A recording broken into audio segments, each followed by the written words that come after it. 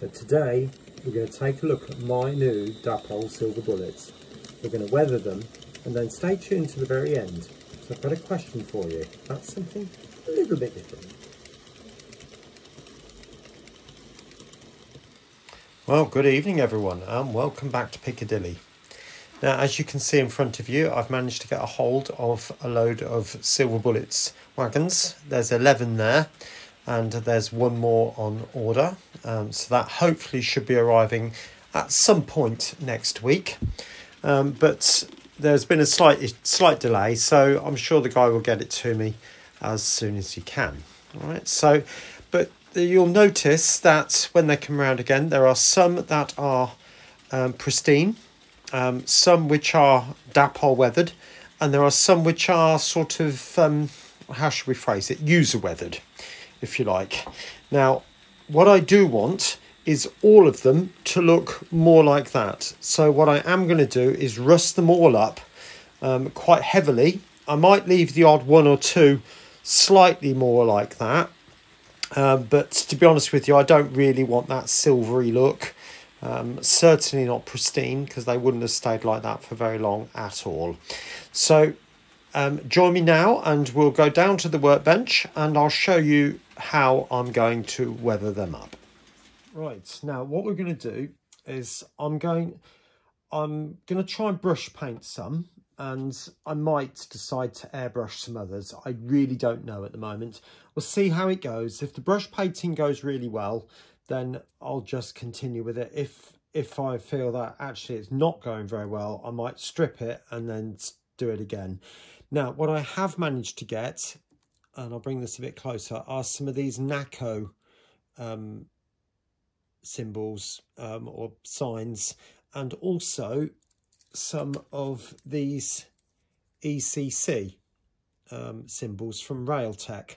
So there I can completely obliterate on some. I'm not going to do it on all because the, the NACCO would be quite sort of damaged, if you like. Um, but there are some of the wagons, and this is just a typical example.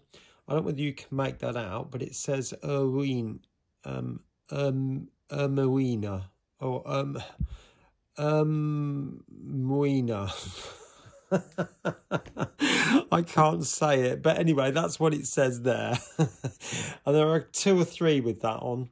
Um, so you might say to me, John, why did you buy this one and not more of these with NACCO written on the side? Uh, because weirdly, these ones are about £3 cheaper than these ones. Why? I don't know, but they were. I managed to buy some of these as a, from Hattons and they were quite cheap from Hattons. But uh, I ended up, I don't know whether I had the last or what, I don't know, I can't remember. Um, but um, I ended up getting a couple of these uh, meaner ones. And uh, uh, yeah, so I'm going to have to obliterate that and then use the transfers from Railtec to put on the side. But you'll notice there's two weathered by Dapol and frankly they are very, very similar.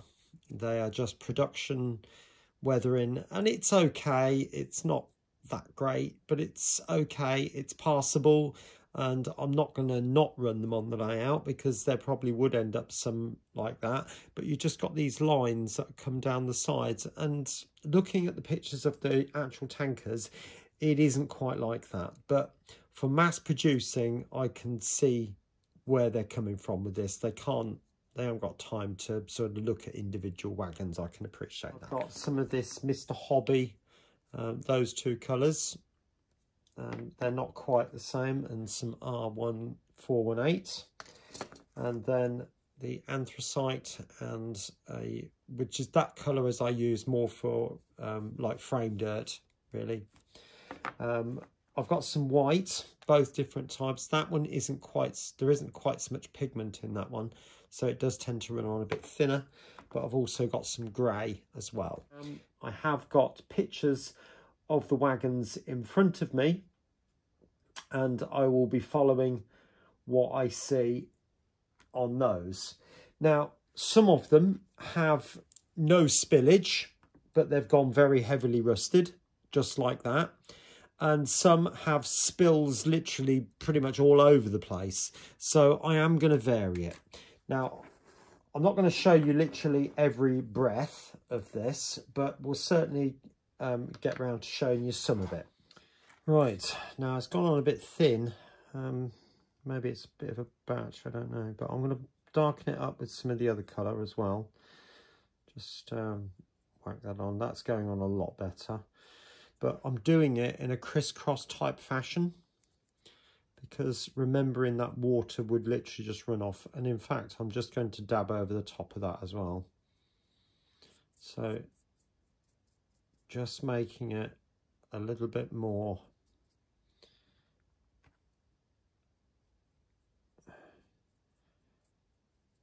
well rusted really these were very as far as I can tell incredibly heavily used and abused and weren't necessarily kept in the best conditions.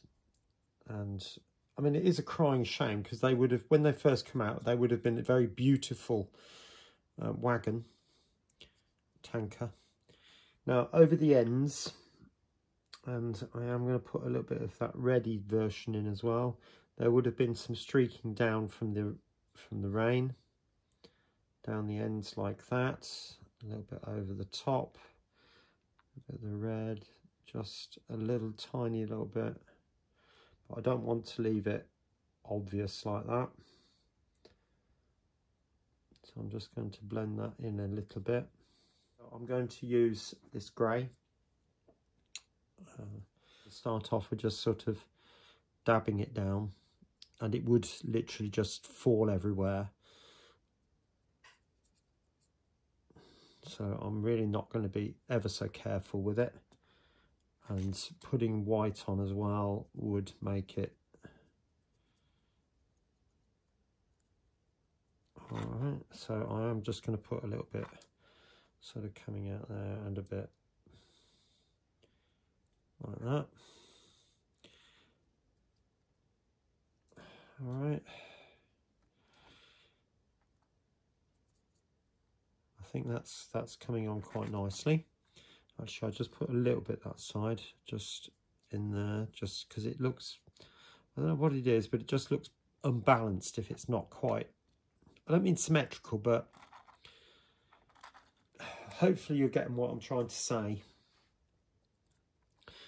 But some of the wagons do have like, I'll put it a bit coming down here on this one and bearing in mind it would fall vertically so that's whatever happens there has got to uh, go to the bottom. Something like that. And some of the wagons do have that on there. Now I need to do that with some white. So just the tiniest little bit on the brush in fact that's far too much. And then all I'm going to do is literally just just put a little few streaks just like that. Not much.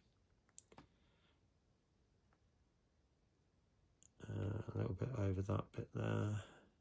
Uh, that one's all right like that. And then just the tiniest little bit at this end.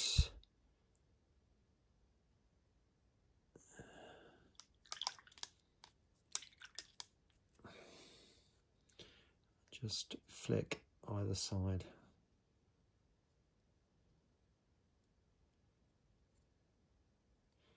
Then just dab a bit of white back on the top.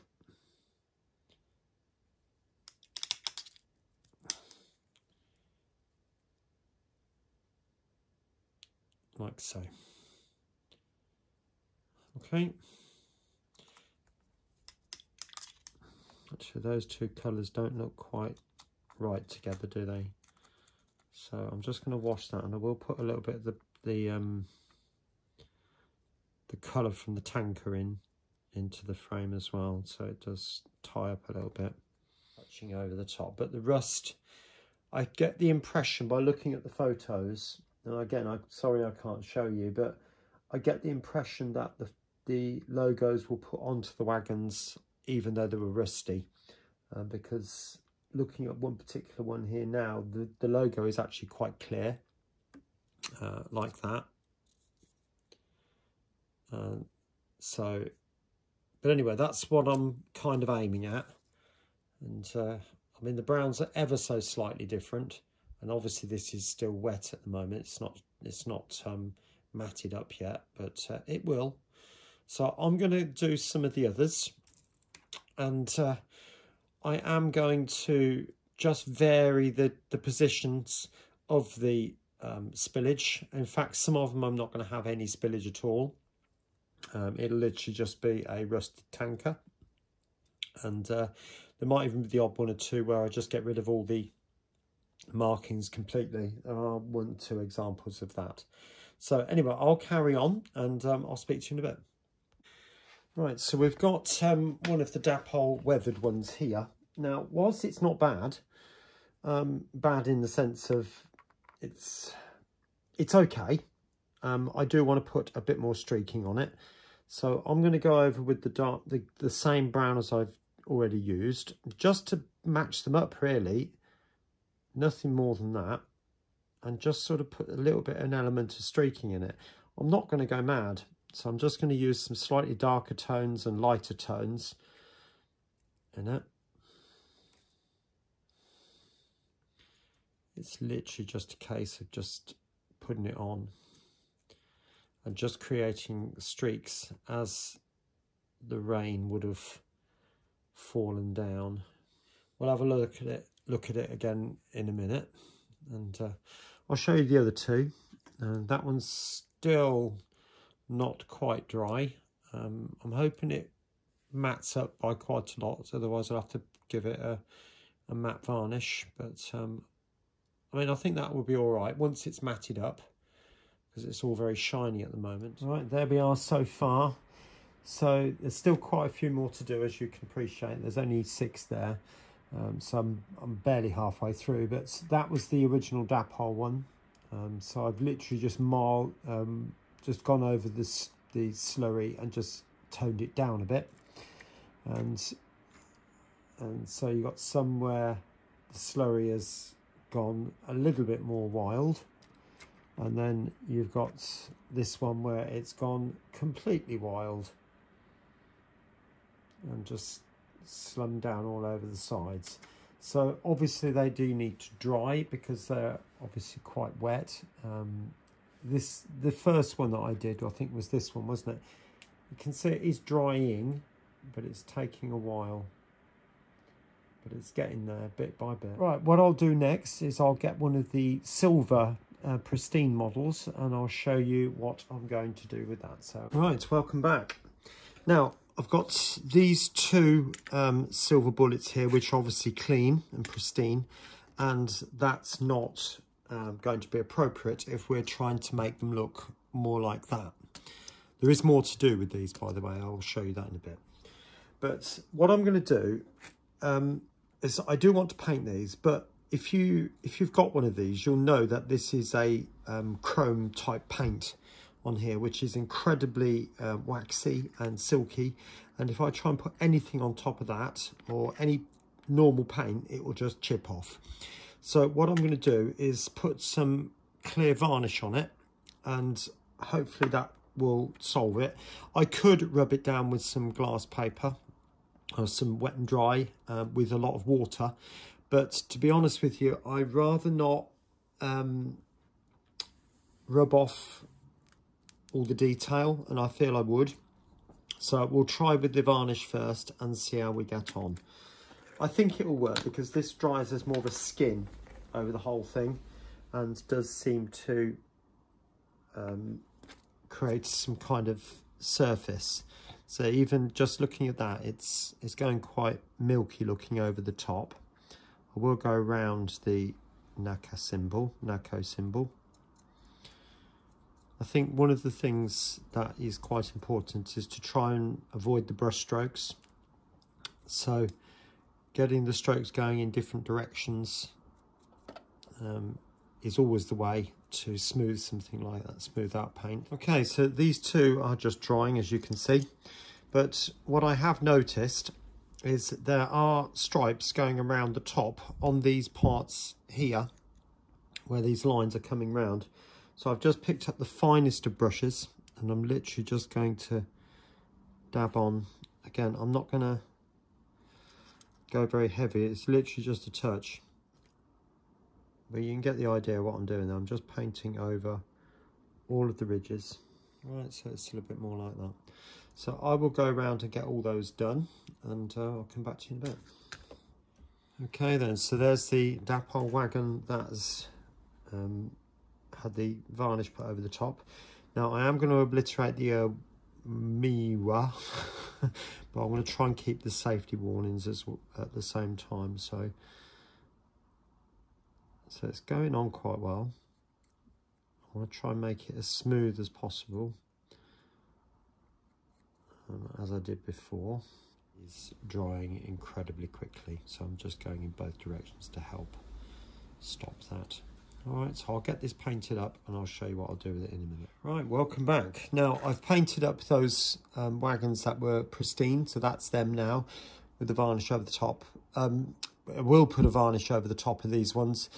Um, they are incredibly fragile and the paint is starting to chip off a little bit, so I'm going to let that dry because acrylics by mere nature are plastic paint.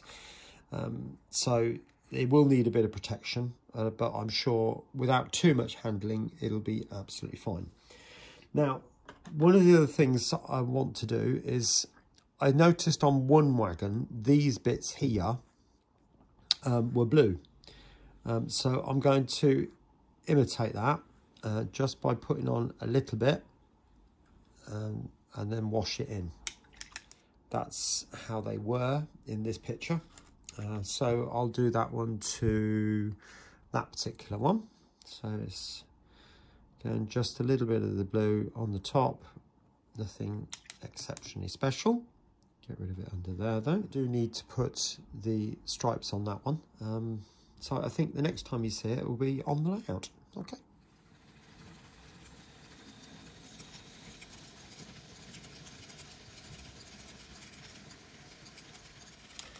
So there we are. That's all the tankers, apart from the one that's due to come, weathered and completed.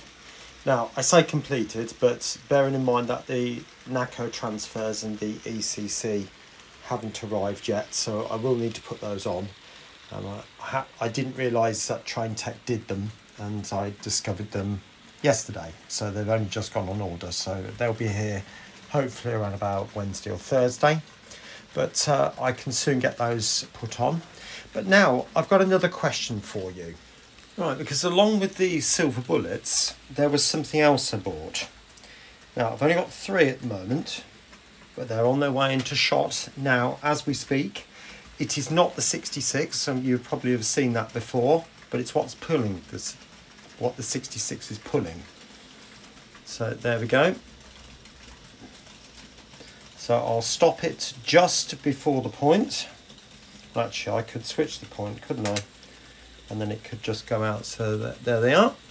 And shot and stop. Now, I've managed to acquire those three um, Graham Farish 100 ton tank wagons or tankers. And I've actually got another four um, second hands coming from Rails of Sheffield. Um, so that means I have a rake of seven. Now, my question to you is I don't think that livery runs anymore. Am I right? So, should I respray them into different colours black, red, dark blue and put TGV on the side? What do you think? Because I've seen some of those and some of those run clean, as in pr almost pristine clean I've seen some with a lot of grime along the bottom and a lot at the top, and almost as if somebody's got a cloth and just wiped the sides down so you can see the TGV. I don't know. Let me know what you think in the comments below because I really would like to get these a little bit more contemporary because I've got a feeling that these are more 1980s, 1990s type liveries. So, you know, be really interested to know if there's any tanker experts out there. All right, anyway, we'll leave the video just there. So the top video is going to be all about what I did to build the structure of that area just there with all the papers and the papier-mâché work that went on with that. And the second video that you'll see appearing on your screen is going to be the second one in the series of how I built the carriage shed all along the back there. All right, thanks ever so much, everybody, and I'll see you again soon. Bye for now.